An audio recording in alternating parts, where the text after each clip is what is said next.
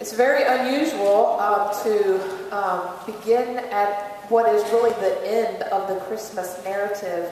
Um, but I think beginning to think of the wonder of a star in the season is a wonderful place to begin as we enter the season because um, I want us to think about what it is that we're getting ready for and what are we following um, as we anticipate this season of love. And so let us read together from Matthew's Gospel, chapter 2, beginning with the first verse. Listen now for the word of the Lord. After Jesus was born in Bethlehem, in the ter- territory of Judea, during the rule of King Herod, Magi came from the east to Jerusalem, and they asked, Where is the one born the King of the Jews? We have seen his star in the east, and we've come to honor him.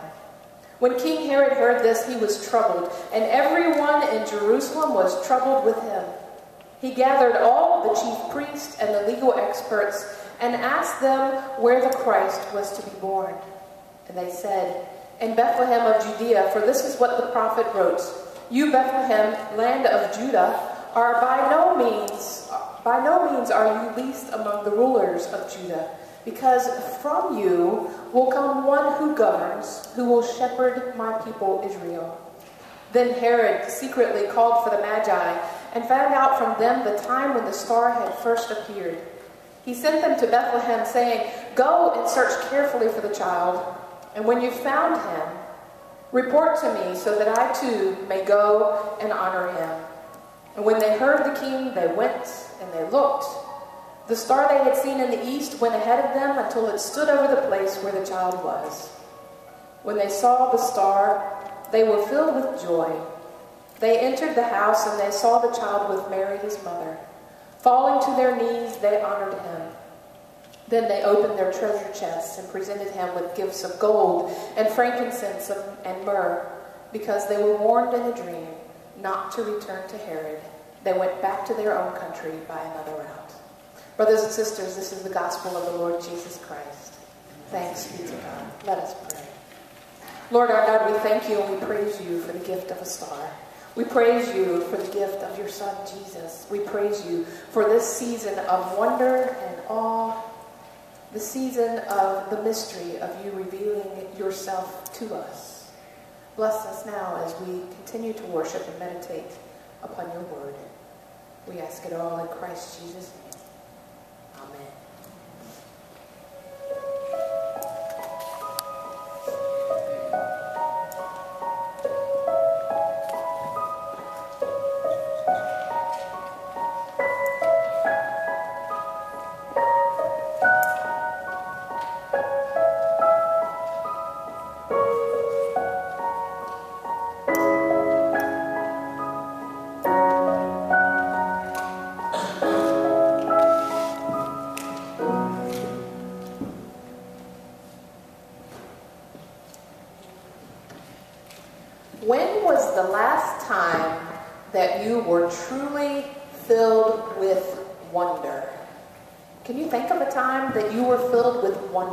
Another word for wonder may be awe.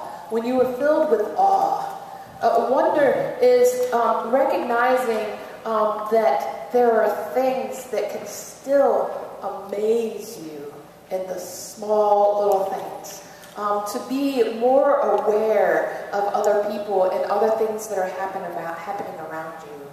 When was the last time you were filled with wonder? I remember as a little child, um, I can't speak about having my own children. I know lots of you would tell stories about your own children and, and the wonder of watching them at Christmas, but not having kids, I can only tell you of um, my own childhood and my own thoughts about remembering um, Christmas as a child and the wonder of the season. I, I remember um, that as the decorations would come out of the attic and the boxes would be opened, I remember that smell of wax. That, that smell, uh, uh, and I think we didn't have quite as many scented candles back when I was a kid, but I remember the smell of wax when we opened those because my mom, year after year, although I don't know why she didn't learn, but she packed the candles from Christmas and then put them in the attic. And every year when we opened the boxes, the Christmas candles had melted and we'd have to get new ones every year. But that smell, I associate that smell with the sense of wonder and awe. I remember pulling out those decorations and the stories that my mom would tell us about. When you were babies, we didn't have many decorations, and your daddy and I went to Woolworths and brought this set of decorations. Remember Woolworths? I remember the awe and the wonder of thinking about um, presents.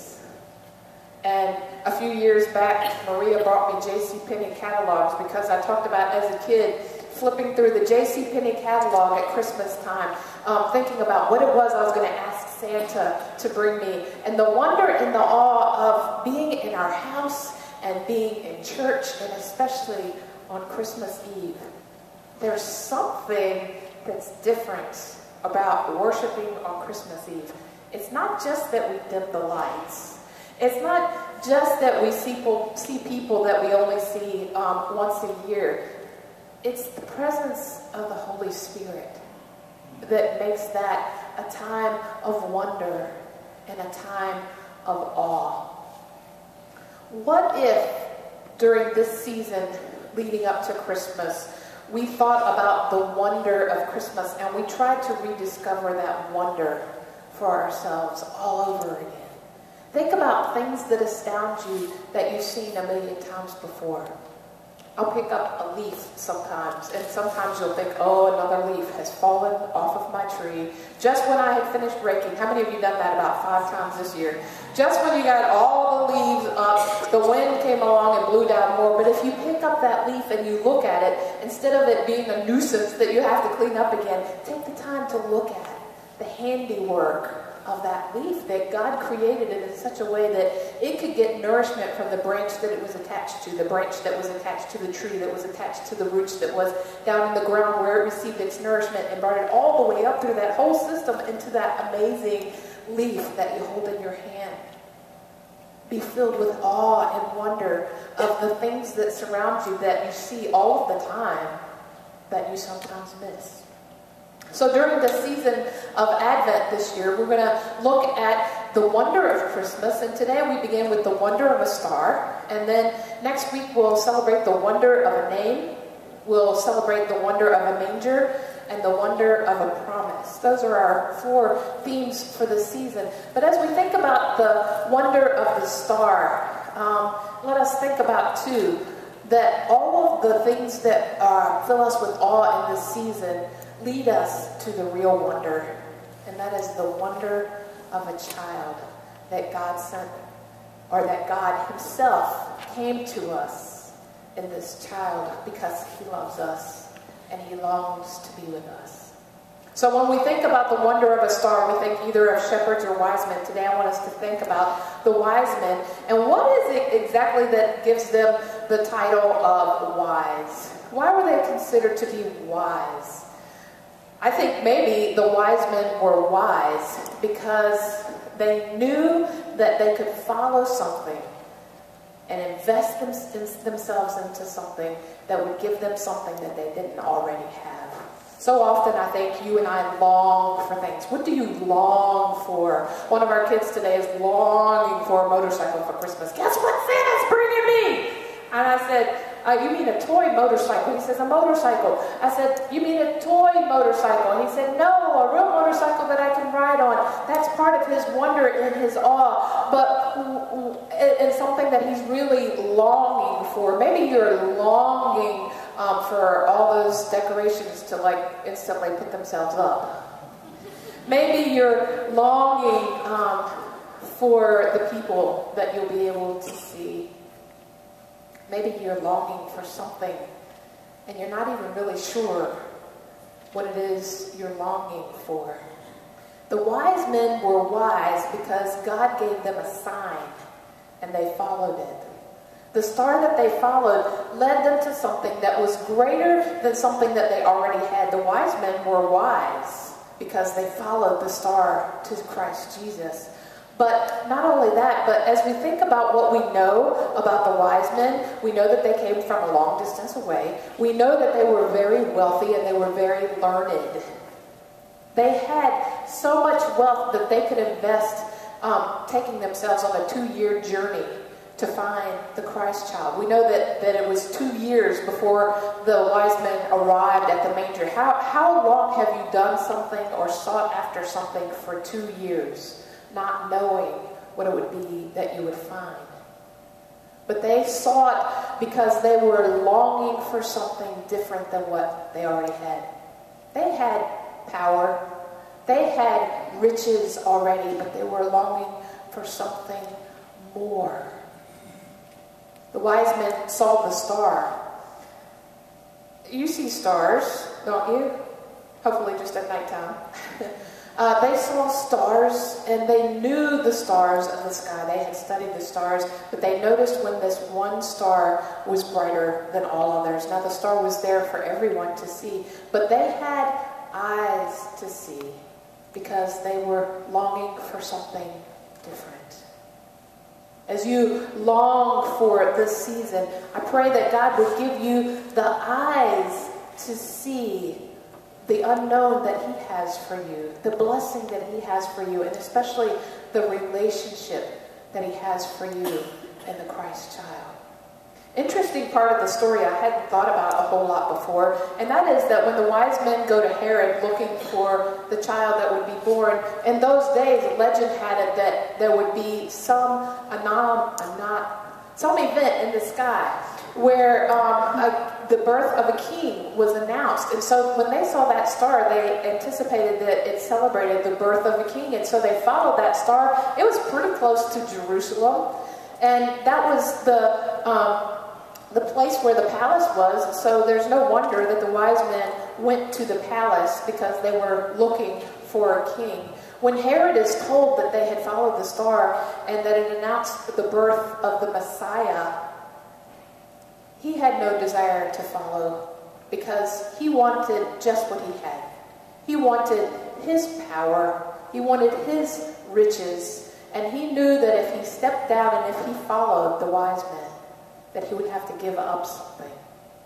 Sometimes longing for something more causes us to have to change.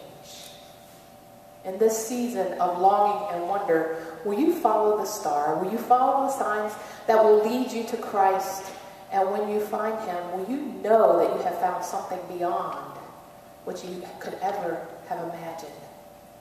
The wise men had the courage to follow a star. We know that it took a long time to find um, that star, to find the babe, to follow the star. But what they found caused them change.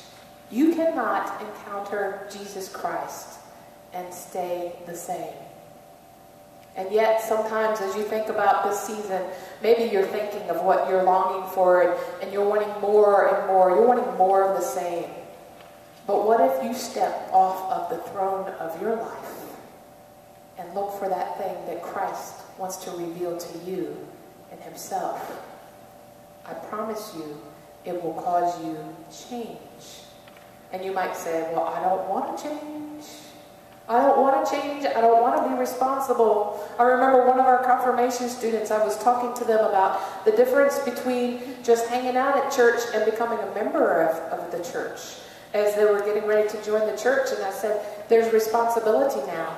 There's responsibility for you to be there. There's a responsibility for you to give your time and your talents and your gifts to the church. There is a responsibility for you to represent who Jesus is in this world. And this one student said, but I don't want to be responsible. Don't we do that? Don't we do that in our lives? I don't want to be responsible. I don't want to change. I don't want to give up what I have. But Christ calls us to follow him because he can offer us more than we could ever, ever imagine. When the wise men had followed long enough that they actually found the Christ child, immediately they fell down and they worshiped him. Sometimes I picture that scene, you know, a little different. You know, Mary and Joseph have halos around their heads. And baby Jesus is sitting there quietly and perfect. He's the Savior of the world. How many two year olds and two year old homes do you imagine really are like that? Imagine what it would have really been like when Jesus is now in a home with his family. He's two years old. Who, who has a two year old kid? That's um, Colin's one and a half. So they're starting to tool around. They're starting to make words. They're starting to get in and out of things. What do they call them? The wonderful twos? Oh, they call them the terrible twos. Imagine Jesus being two years old. And yet, when the wise men saw him, they knew. There was something about his very essence that even as a little two-year-old, terrible two toddler, they fell down and they worshiped him. In this season, I'm wondering what sign God will give you. And I'm wondering if you will have the courage and the wisdom to follow the sign that God gives you. Because when God gives us a sign, it's an invitation. Signs lead us to God. Think of the signs that you've had. You, how many of you have ever held a newborn baby? Maybe I should ask who's not held a newborn baby. And, and what's, you haven't, Jacob? Next time somebody in this church has a baby, I'm going to ask their mama if this, you know, really clumsy 14-year-old boy can hold their baby. um, you got to do it sometimes because it's an amazing thing to see a brand new life. Can you imagine the awe and wonder when you think about that? Sometimes the awe and wonder and the sign that God gives you is in a time of tragedy or difficulty. And even though it's hard to follow those signs and it's hard to get through those times, they lead you to God. Sometimes maybe it's nature that's the sign for you. Maybe you see something around you uh, that fills you with awe and it will lead you to God.